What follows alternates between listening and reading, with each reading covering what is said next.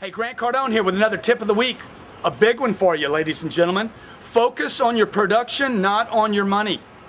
Okay? Too many people are in a deal for the commission. They're like, what do I get? What do I get? Trying to figure out the deal. I had a painter at the house recently.